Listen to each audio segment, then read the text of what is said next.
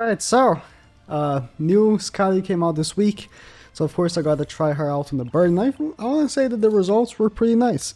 I do kind of, like, wish I had gone with a different team here, and I might try out uh, some other teams to find out, like, a better version for her. Because, um, the way Megellda and Skadi interacted here in this one was not very good. Maybe if I just removed Megellda's Holy Relic, it would have worked, so... Um, Skadi is pretty good, actually. She's a pretty good damage dealer. Like, for the most part, with her single targets were doing, like, decent damage. And her ultimate heals. So, all around, like, a pretty good character for this. Um, especially when we got to phase 3, and you're gonna see I did get the uh, the condition where every turn he places a debuff on me for attack and defense. That was magical, because Skadi at one point had, like, 9 debuffs.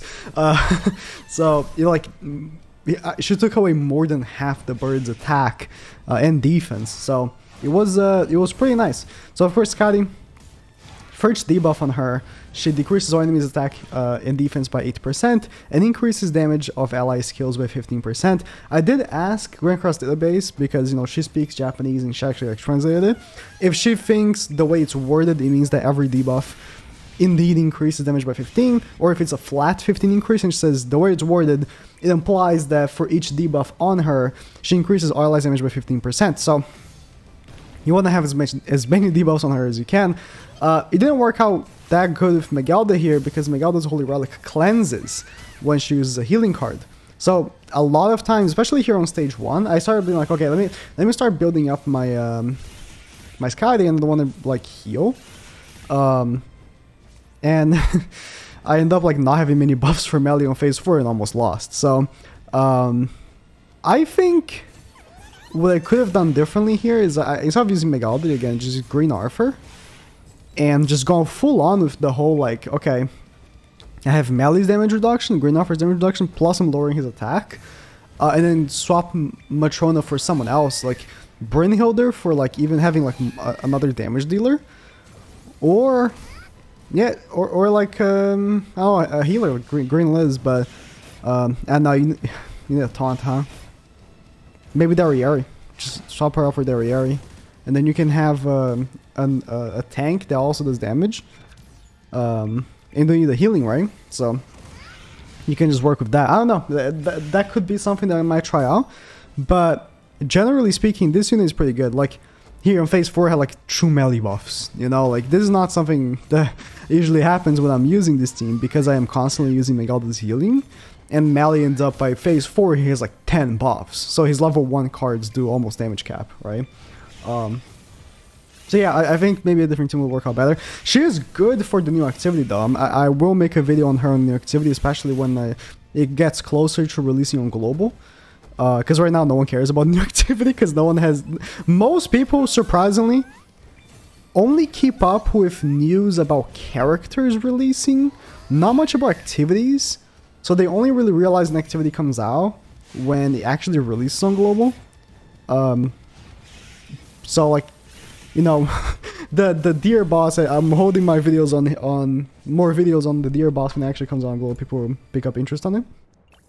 Um that boss is much harder than the bird. So, yeah. Uh, but she's good for it.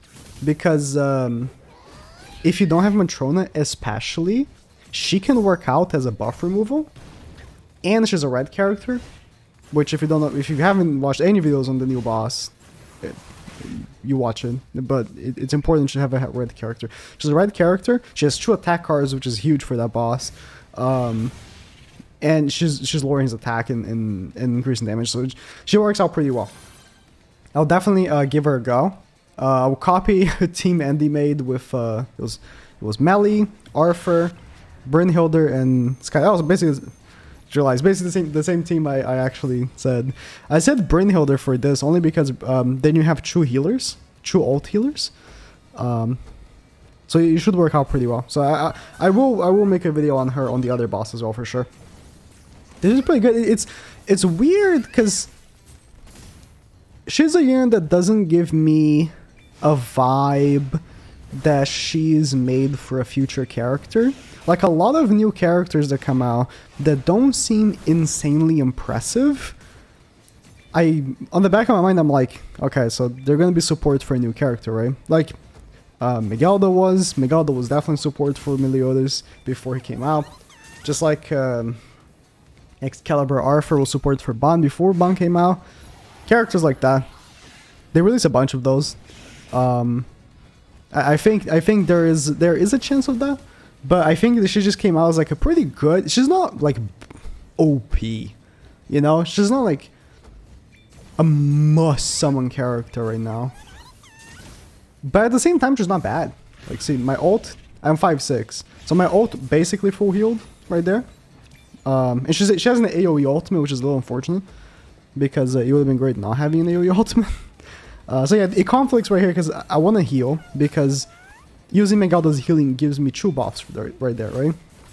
One buff from using the healing card and one buff from full healing. So it's really good for Meliodas.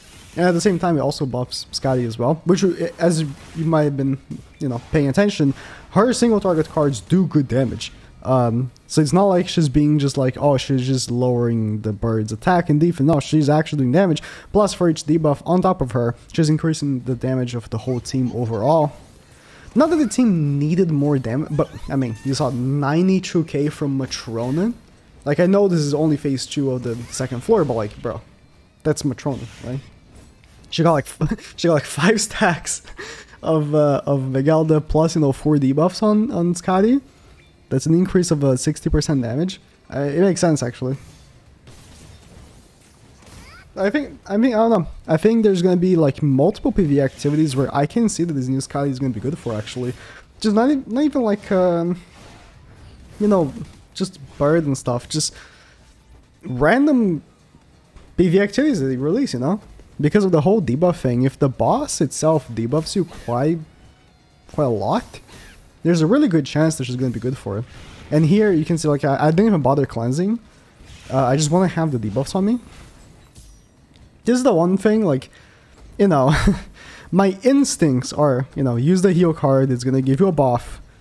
It's going to give you, you know, health. Um, so I should use it, but here I don't really don't really feel like I should because it would cleanse. I think if I took off Megellda's Holy Relic, it would work better, but at the same time, like, Megellda's Holy Relic is worth removing one debuff of her. Because as the, like, the very same moment you use the, the heal, it applies a buff. And then if you full heal, it's, there's a second buff. It's like, it's definitely worth it. Even if, uh, it removes 15% of damage, just having that extra stack is always going to be worth it. But yeah, stage 3 was, was a breeze. I mean, again, like, I, I could use her for damage with her cards. And I I, uh, I had in the back of my mind, like, her ultimate can always be a, oh, I need healing. So I just ult with her, or I just push her ultimate for the next phase. So she works out pretty well in that regard, for sure. And again, I just find it very funny having two giants. Although I, I do wish that the, the giants on this game had like better height representation. Like she she is I think shorter than Matrona. I need to actually check that.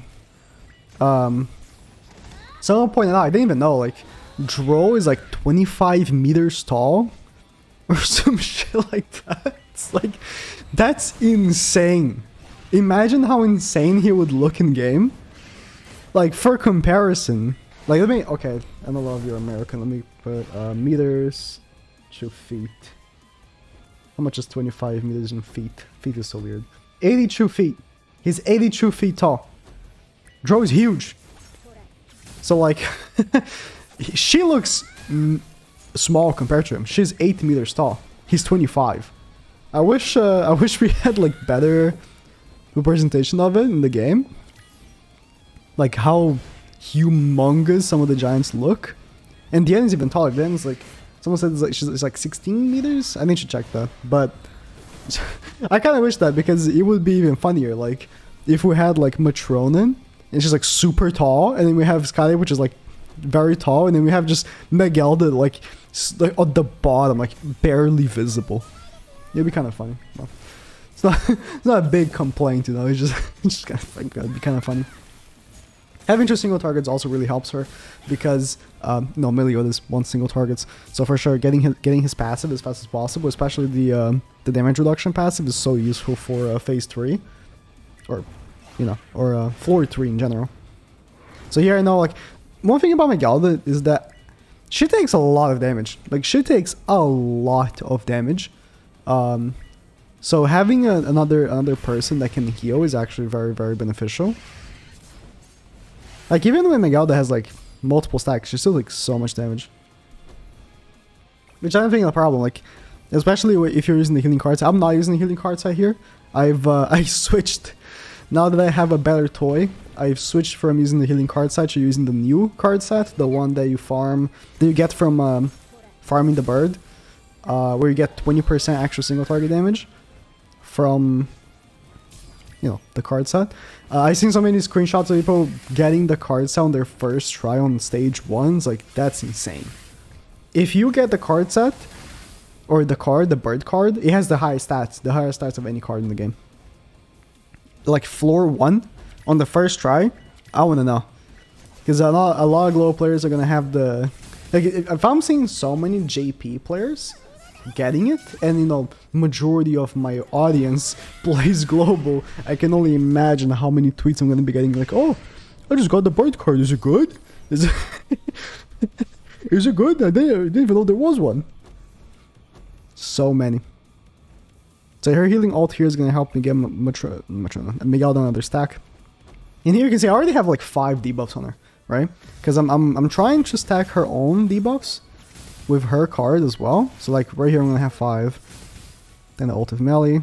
Melly would do damage cap regardless, but yeah. Um, I think his like next turn I have like nine debuffs. Maybe not, not next turn. But at one point I have like so many debuffs and they check his attack. And it's like he has less than half of his attack. I think I check it right here as well. Yeah, so right here I have some, how many? Six, seven, I have seven debuffs. So yeah, he's losing more than half of his attack. Which, I mean, for this phase, um, his attack doesn't matter that much because he's not really going to be doing that much damage to you.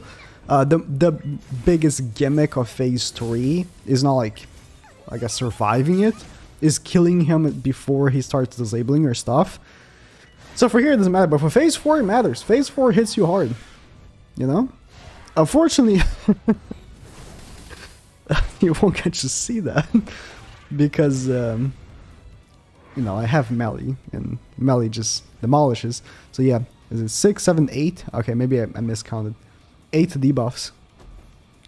And I do cleanse one because I do want to uh, get Melly stacks for the next uh, phase. Yeah, Melly, I mean, Melly, you know, not only, he's Melly, so he's to be doing damage cap with level 1s, just like I did right there. But also, um, I would, I was having, like, the damage increase from the uh, Skadi, so I don't know how much that helped. Because, again, it's Meliodas. But maybe it did, you know? And if it did help even a little bit, I think that's good. That's Skadi. See, I think she's. I don't think she's like insane. That that's the thing, right? It's like one of those characters where like I'm. I'm not saying like ah she's bad, or I'm saying like oh my god she's insanely busted into someone. She's like pretty good, and I think that's fine. Not every character has to be bad. Not every character has to be broken. She's just pretty good. Nice.